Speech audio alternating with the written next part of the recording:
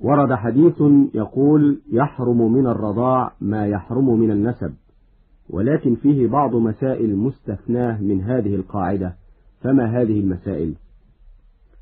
ورد حديث يقول يحرم من الرضاع ما يحرم من النسب ولكن فيه بعض مسائل مستثناة من هذه القاعدة.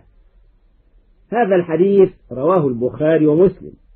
ولكن جاء في شرح الدردير لأقرب المسالك أن هناك ست مسائل مستثناة من هذه القاعدة وهي أولا أم الأخ أو أم الأخت لأنها من النسب إما أمك وإما امرأة أبيك وكلاهما محرمتان لكن أم الأخ من الرضاع لا تحرم وكذلك أم الأخت.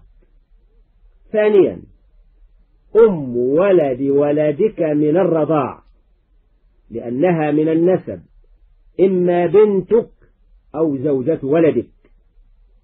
ثالثا جدة الولد من الرضاع لأنها إما أمك أو أم زوجتك.